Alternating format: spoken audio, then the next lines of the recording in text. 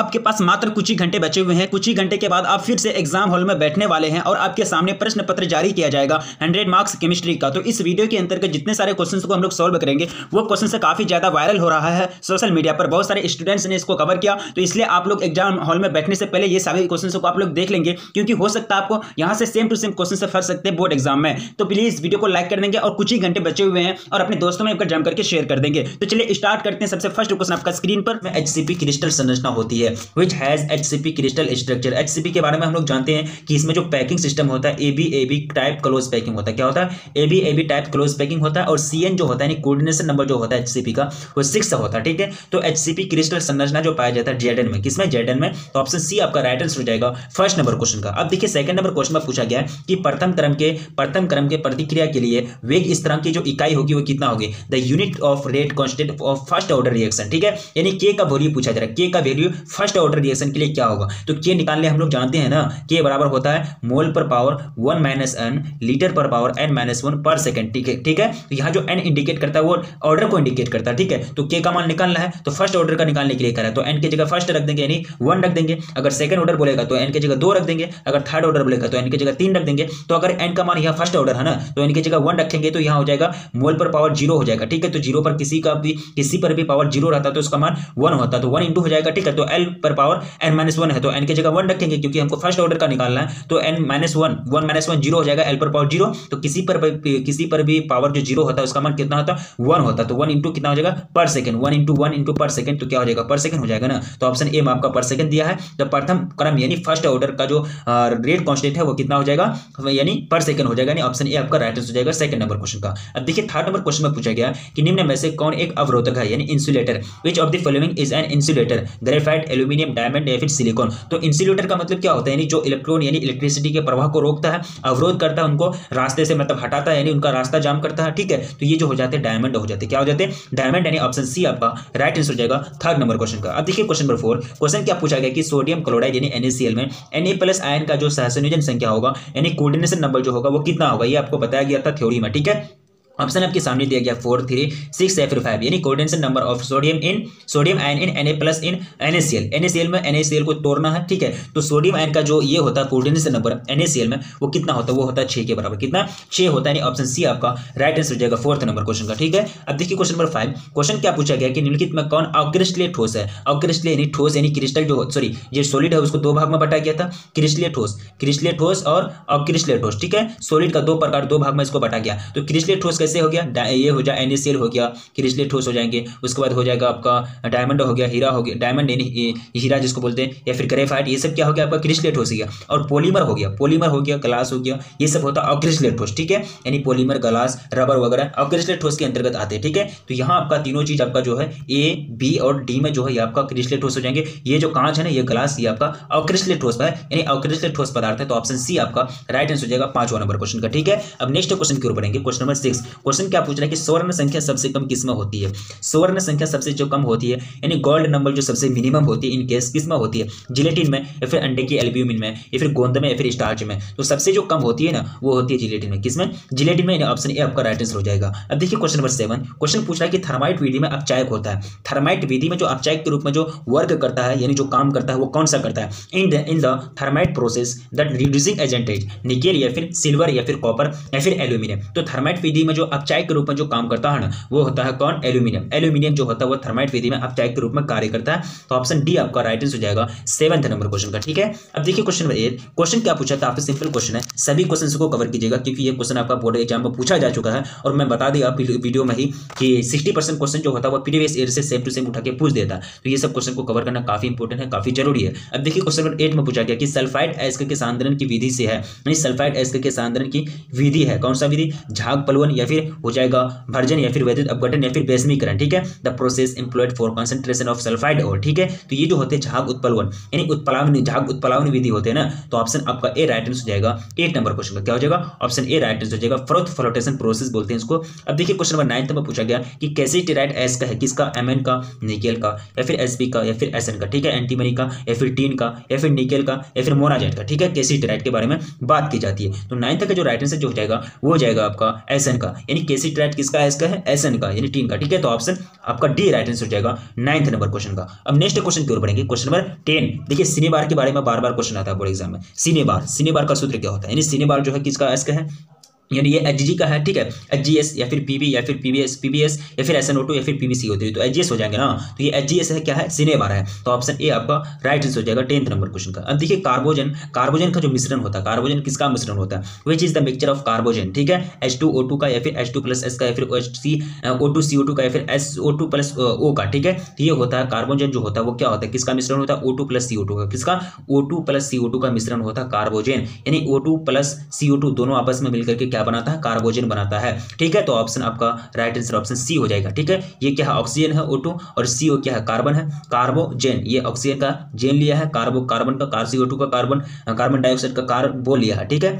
देखिए ऑक्सीजन जेन ये जेन लिया है ना तो ऐसे भी याद रख सकते हैं। इसको तोड़ करके कार्बोजेन यानी कार्बो से कार्बन डाइऑक्साइड जे से जेन जेन जो है, वो ऑक्सीजन ठीक है? आपको सी याद रखना है। ठीक है? अब देखिए क्वेश्चन नंबर ट्वेल्थ में पूछा गया कि C O E N two C L के कितने समावेशी संभव है? यानी आइसोमर से कितने पॉसिबल है इसमें, ठीक है? तो दो या फिर चार या फिर छह या फिर एक। तो इसमें जो पॉसिबल है आइसोमर्स वो चार है। कितना? चार आइसोमर्स यानी समावेशी इसमें संभव है। तो ऑप्शन बी आपका राइट आंसर हो जाएगा ट्वेल्व नंबर क्वेश्चन का। अब देखिए क्वेश्चन नंबर थर्टीन में पूछा गया कि K four F C N six F का आपको परसंकरण पूछा गया हाइब्रिडाइजेशन पूछा गया, ठीक है? सिंपल से एक्स मानेंगे एक्स का फाइनली वैल्यू निकालना आपको। सॉरी सॉरी इसमें आपको ये पूछा गया ना हाइब्रिडाइजेशन पूछा गया, वहाँ आपको कोऑर्डिनेशन नंबर पूछा जाता है तभी, ठीक है? तो यहाँ देखिए हाइब्रिडाइजेशन जो पूछा गया एस होगा डी होगा, या फिर थ्री होगा, या फिर डी टू होगा। तो हाइब्रिडाइजेशन जो निकलेगा इसका ना, इसका निकलेगा D two S P three क्या निकलेगा? D two S P three यानी ऑप्शन डी आपका राइट आंसर हो जाएगा थर्टी नंबर क्वेश्चन का। अब देखिए क्वेश्चन नंबर फोर्टीन निम्न में से कौन संघनन बहुलक है? संघनन बहुलक टेफ्लॉन या फिर पोलिस्ट्राइन या फिर पीबीसी या फिर टेक्रोन, ठीक है?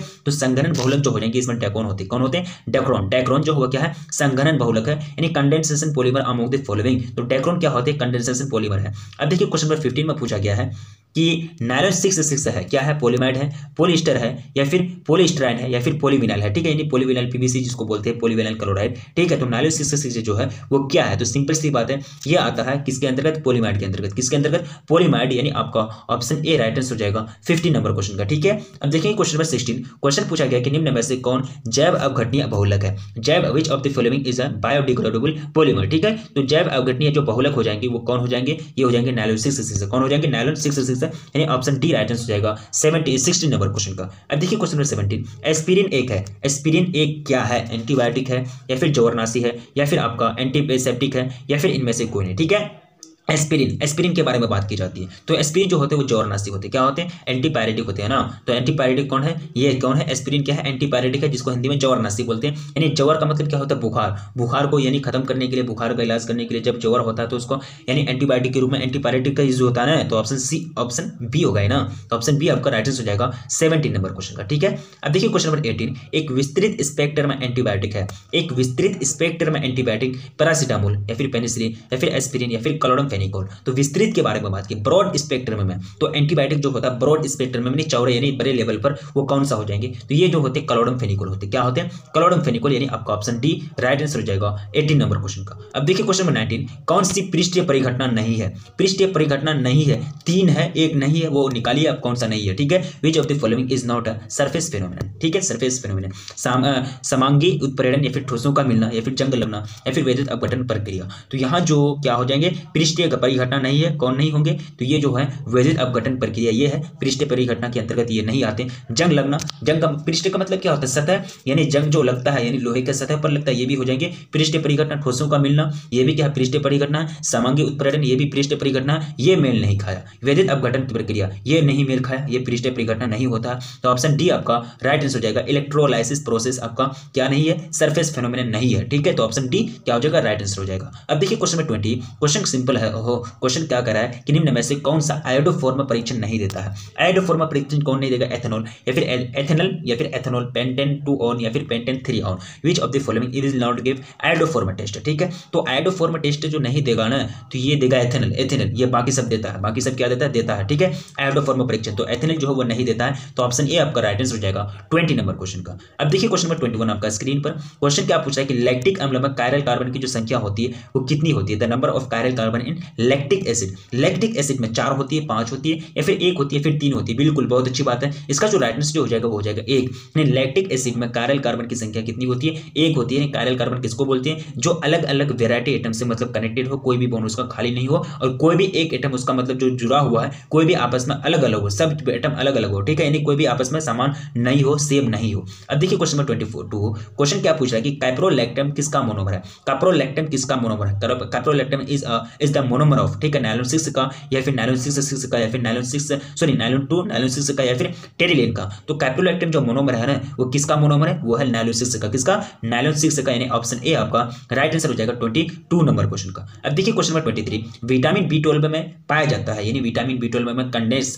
यानी कंटेंस यानी विटामिन बी ट्वेल्व इंक्लूड्स ठीक है? यानी विटामिन बी ट्वेल्व में क्या पाया जाता है? एफ़ टू या फिर सी ओ थ्री या फिर जेड एन टू या फिर हो जाएँगे सी ए सेकंड ठीक है? काफ़ी इंपॉर्टेंट क्वेश्चन है। एफ़ सेकंड होगा टू हम बोले सॉरी एफ़ सेकंड या फिर कोबाल्ट थर्ड ठीक है, या फिर जेड एन सेकंड या फिर हो जाएगा सी ए सेकंड ठीक है? तो जो पाए जाते हैं ना कोबाल्ट थर्ड पाए जाते हैं कोबाल्ट कोबाल्ट पाए जाते हैं। तो ऑप्शन आपका बी राइट आंसर हो जाएगा ट्वेंटी थ्री नंबर क्वेश्चन का। अब देखिए question number twenty four thymine है, यानी थाइमिन इज़ ये क्या है?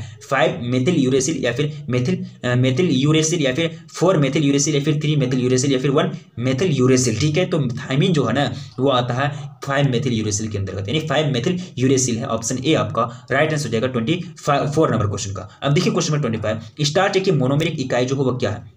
स्टार्च की मोनोमेरिक इकाई जो क्या है, ठीक है? Monomeric units of starch is or are ठीक है? ग्लूकोज या फिर फ्रुक्टोज या फिर ग्लूकोज और फ्रुक्टोज दोनों या फिर मेनोस ठीक है? तो स्टार्च की जो मोनोमेरिक इकाई है ना, वो है ग्लूकोज मोनोमेरिक इकाई कौन हो जाएगा? ग्लूकोज हो जाएगा. Glucose is the monomeric units of star तो ऑप्शन स्टार्च यानी ऑप्शन ए आपका राइट आंसर हो जाएगा ट्वेंटी फाइव नंबर क्वेश्चन का. अब देखिए क्वेश्चन नंबर ट्वेंटी फॉर्मिक अम्ल को एच टू एसोफिर के साथ हीट करने पर जो देता है, जो फाइनली जो प्रोडक्ट मिलता है, वो क्या मिलता है, ठीक है? फॉर्मिक एसिड को हीट करना है. फॉर्मिक अम्ल को एच टू के साथ गर्म करना है. तो क्या फाइनली प्रोडक्ट मिलेगा? मिलेगा आपको सीओ क्या मिलेगा? सीओ ठीक है? अब देखिए क्वेश्चन नंबर ट्वेंटी क्वेश्चन क्या पूछा गया कि निम्न में से कौन सा परवल अम्ल है? यानी स्ट्रॉन्ग बेस है सॉरी स्ट्रॉन्ग एसिड है, परवल अम्ल तो सबसे पहली बात है कि परवल अम्ल कौन हो जाएँगे, वो आपको बताना है। तो ये जो हो जाएँगे H C H O H C O H यानी ऑप्शन ए आपका राइट आंसर हो जाएगा ट्वेंटी सेवन नंबर क्वेश्चन का। अब देखिए क्वेश्चन नंबर कितना हो जाएगा? Twenty eight question number twenty eight क्या कह रहा है कि निम्न में से सॉरी इनमें से कौन अत्यधिक क्षारीय है, ठीक है? इनमें से कौन अत्यधिक क्षारीय सिंपल सी बात है। In of in the following which is most basic